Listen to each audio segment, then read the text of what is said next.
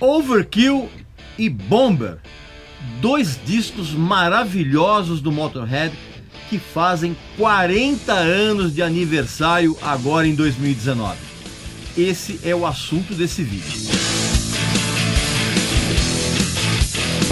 Meu amigo e minha amiga, antes de qualquer coisa, eu quero agradecer imensamente a você que se inscreveu no canal e esse agradecimento é especial porque o canal aqui ultrapassou a barreira dos 100 mil inscritos, o que é uma enormidade para o tipo de assunto, para o tipo de sinceridade que eu uso aqui.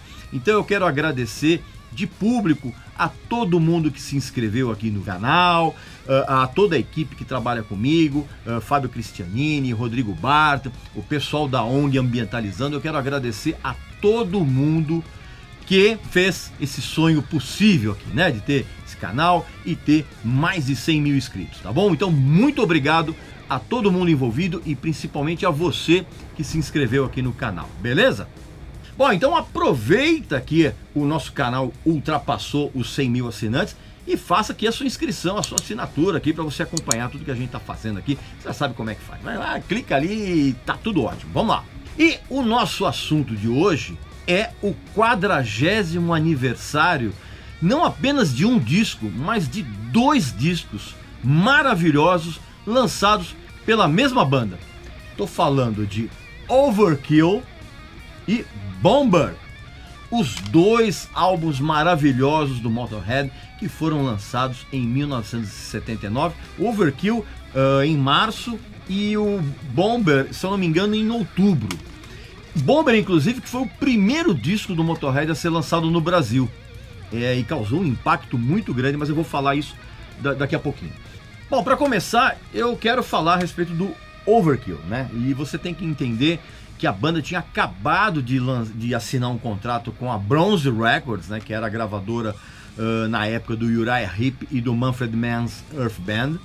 E o que que acontece? E quando eles assinaram o contrato, ah, uma das primeiras providências foi colocar o grupo para gravar um compacto. E eles resolveram gravar, ou melhor, regravar um grande sucesso do grupo The Kingsmen, que eles tinham soltado em 1963, que era aquela música Louie Louie. Né? E tinha, se não me engano, no lado B, uma, uma dessas músicas aqui do, do disco, do, que era Tear, uh, You Down, era o lado B. E aí o que acontece? Eles soltaram esse compacto, esse compacto fez um sucesso até mesmo maior do que o primeiro uh, álbum do Motorhead. Né? Isso deu uma animada uh, tanto na banda quanto na gravadora e eles resolveram então investir nesse sucesso que já tinha começado a se tornar um pouquinho maior, a ponto de Louie Louie ter levado o Motorhead a fazer aquele playback no Top of the Pops, que era uma espécie de parada de sucessos da BBC na época e era o programa em que só quem estava nas paradas, só quem estava vendendo bem participava. E o Motorhead participou pela primeira vez fazendo um playback de Louie Louie. Então era sinal de que o compacto estava indo muito bem nas paradas. Para você ter uma ideia do sucesso que esse compacto fez, a gravadora anterior ah, chegou a até a relançar o primeiro disco do Motorhead. Aqui, ó. Que é isso aqui, ó. Né? Tentando pegar aquela carona no, famosa carona no sucesso, né? Então o que acontece? Aí rolou esse certo buchicho, né? E aí a banda entrou em estúdio para gravar o que seria esse espetacular Overkill. Essa edição aqui, é, essa é outro, outro, mais uma daquelas edições da Castle que foram remasterizadas com bônus aqui. O som, é, o som é sensacional, é muito legal. O Motorhead na época, cara, você ter uma ideia, eles estavam uh, uh, sem dinheiro totalmente. Tem inclusive uma história muito engraçada, cara, que no dia uh, uh, da, da apresentação, que foi ao ar o Motorhead no Top of the Pops, uh, os caras da banda foram avisados. E o Ed Clark, bicho, ele fazia uns bicos pintando apartamentos e casas. E aí ele tava fazendo o trabalho dele à noite e ele pediu permissão para a família que ele estava pintando a casa se ele poderia assistir na televisão a participação dele no Top, no top of the Pop junto com o Motorhead. Então, assim, eh, tem, é, o, Ed ele contava essa história dizendo que ele ficou na sala, no meio da sala da família, da, da, da casa onde ele estava pintando, né? assistindo com a família a apresentação dele com o Motorhead no Top of the Pops, ele com um macacão todo sujo de tinta e com um pincel na mão. Deve ter sido uma cena realmente hilária, né? E aí foi nessa época que o Motorhead começou a angariar um, um, um grupo maior de fãs, tá entendendo? É, e aí eles entraram em estúdio para gravar o Overkill. Eu vou até tirar aqui, ó, para mostrar direitinho a capa. Pra mostrar pro teu filho, olha, ó, capa sensacional. E esse sucesso do, do, do, Motorhead, ele surpreendeu até mesmo o presidente da, da, da Bronze, né? Que era o Gary Brown, que é um cara que não acreditava de forma nenhuma que aquele compacto do Louis Louis podia chamar a atenção.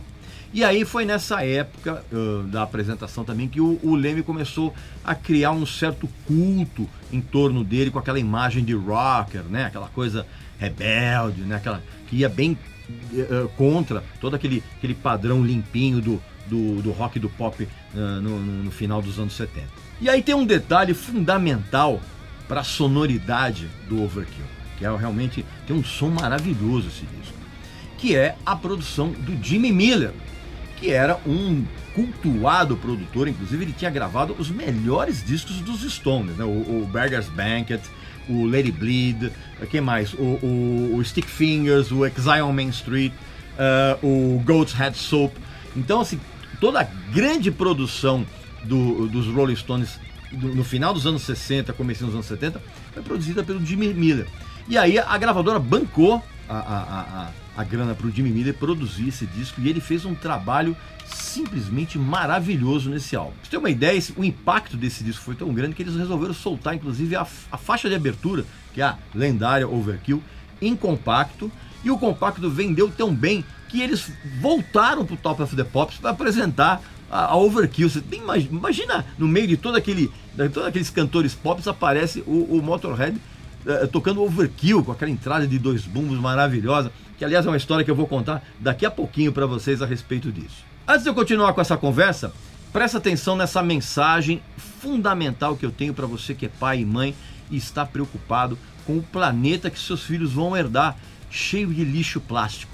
Presta atenção. Se você não tomar consciência do que está acontecendo no Brasil e no mundo a respeito do lixo plástico e de toda a poluição causada por ele, pode apostar que os seus filhos e os seus netos vão chafurdar num mundo extremamente poluído e nojento. E além de nós estarmos cercados de todo esse lixo, ficamos sabendo agora, por intermédio de algumas pesquisas e estudos científicos, que nós estamos ingerindo micropartículas de plástico que estão contidas em 90% do sal de cozinha que é comercializado no planeta. Estamos ingerindo lixo. Ou você se une nessa causa contra o lixo plástico e a total ausência de um descarte civilizado, ou você será cúmplice da poluição total do ambiente em que os seus filhos e os seus netos vão viver. E certamente isso será causa de muitas e muitas doenças. E esse futuro poluído está muito mais próximo do que você imagina. Você quer carregar esse tipo de culpa? Eu não. É por isso que o meu apoio à ONG Ambientalizando é total e você deveria fazer o mesmo. Então, esse, esse disco aqui tem umas histórias muito curiosas. Assim. Primeiro, com relação à música Overkill, que começa com aqueles dois bumbos maravilhosos do Phil Animal Taylor. E eu vou dizer uma coisa para vocês. Para mim, o marco zero do thrash metal é Overkill. Eu acho que assim, tudo que veio de thrash metal uh, que você conhece surgiu a partir de Overkill da velocidade absurda que essa música tem e dos dois bumbos do Animal Taylor. Eu, sinceramente, eu não lembro, uh, eu posso até estar enganado, mas assim, eu não lembro de ter ouvido uma música com esses dois bumbos tocados nessa velocidade absurda que era Overkill. E o mais incrível é que é, é, o, o, Animal Taylor ele resolveu colocar esses dois bumbos assim, se eu não me engano, um dia antes deles entrarem no estúdio para gravar o, o, o, o, disco. Porque a música originalmente ela, era um, ela tinha um esboço que não tinha essa velocidade e também não tinha os dois bumbos. E aí ele começou uh, pintou lá um outro bumbo lá, ele resolveu uh, treinar muito rapidamente. E aí o Leme e o Ed Clark, que era o guitarrista, eles ouviram aquilo e falaram, cara, vamos fazer overkill desse jeito.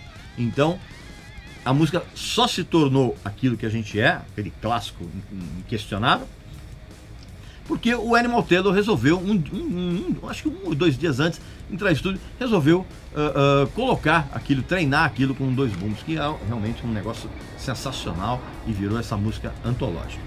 É, o Leme também ele contava que uh, a letra de Metrópolis também, que é uma canção maravilhosa desse disco, que inclusive permaneceu no repertório do Motorhead durante toda a carreira, ele costumava dizer que ele escreveu a letra em cinco minutos.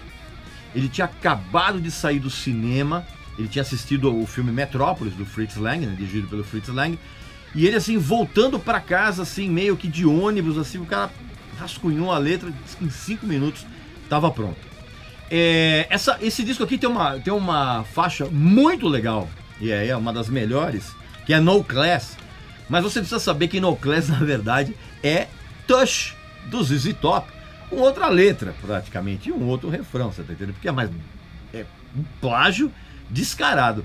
E eu, eu até, até hoje eu me pergunto por que o ZZ Top não, não resolveu processar uh, uh, o Motorhead por isso, né? Deve ter algum tipo de camaradagem, porque realmente no Class é um plágio descarado de Touch do ZZ Top. O Leme também dizia que ele adoraria que uma das melhores faixas desse disco aqui, que é I'll Be Your Sister, fosse cantada pela Tina Turner.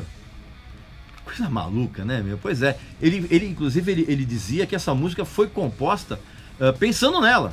E que ele adoraria que ela cantasse essa canção. E, obviamente, isso não aconteceu, mas teria sido um negócio muito bizarro e muito legal. Tem uma ótima canção desse disco também chamada Damage Case, que ela foi também composta em parceria com o Mick Farren, que era vocalista de um grupo chamado The Deviants que era uma banda razoavelmente famosa no comecinho dos anos 70, ali no, no underground londrino, principalmente porque o Mick Farren era um jornalista musical muito conceituado na época, né?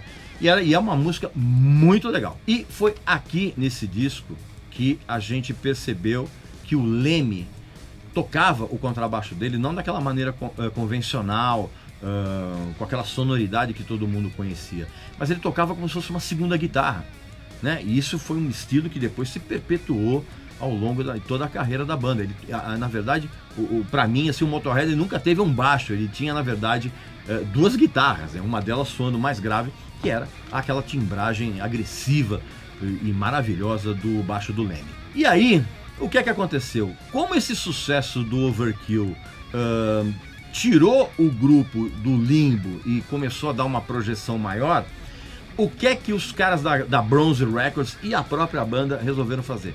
Entrar em estúdio de novo para gravar um outro disco naquele mesmo ano, que era não era na verdade uma coisa inédita, né? Porque o Black Sabbath já tinha feito isso com o primeiro uh, álbum e o Paranoid lançado em 1970 e antes do Black Sabbath, o Led Zeppelin tinha lançado o Led Zeppelin 1 e o Led Zeppelin 2 em 1969. Então não era algo inédito. Mas aí o grupo entrou em estúdio para gravar esse disco também, que é maravilhoso aqui, que é o, o Bomber, que tem também umas canções sensacionais. Só que esse disco tem um probleminha. Eu não gosto de fazer comparações entre discos porque eu acho isso uma coisa meio injusta. Mas é inegável que o som de bateria desse disco tá muito mais hum, magrinho, sem peso, se a gente comparar com aquela sonoridade espetacular do Overkill. E isso, na verdade, aconteceu porque eles resolveram continuar trabalhando com o Jimmy Miller na produção. Só que o Jimmy Miller estava cada vez mais afundado na heroína, que aliás foi o motivo pelo qual ele foi despedido dos Rolling Stones, né, de trabalhar com os Rolling Stones. E nessa época, cara, ele estava afundado total uh, uh, na heroína, e o, o, frequentemente, cara, o, o, o cara desmaiava na, na, sala de gravação, ali em frente à mesa de som. O cara começava a cochilar. E evidentemente que essa a produção acabou sendo comprometida, e o sinal mais evidente disso é na sonoridade de bateria.